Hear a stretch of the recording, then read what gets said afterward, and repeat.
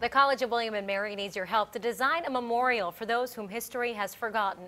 Researchers say the school owned slaves from its inception to the Civil War. And now they want to honor them, and they've started a competition. Our Kara Dixon has more on why they want the community to help out. Kara? Stephanie Laura, the school wants a variety of ideas from the community, something they might not have thought of. But this project and memorial is also about showing the community how far we've come and how far we still have to go.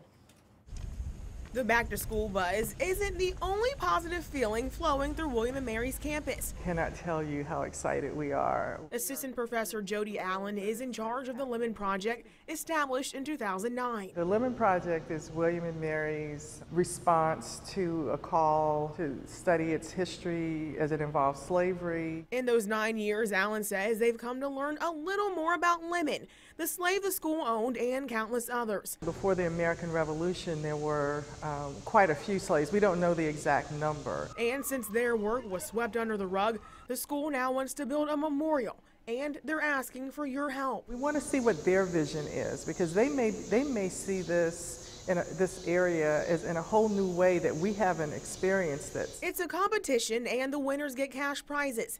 Allen says the memorial will go in or adjacent to here, the historic campus.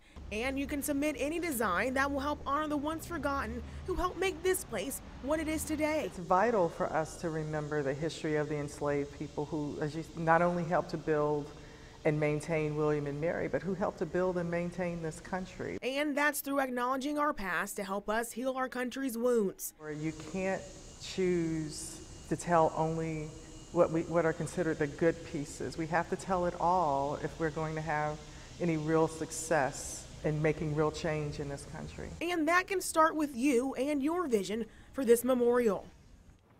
Now, the deadline for the competition is October 12th. The winning design will be picked early next year. And to learn more about this and other rules and guidelines, visit wavy.com. In the newsroom, I'm Kara Dixon, 10 on your side.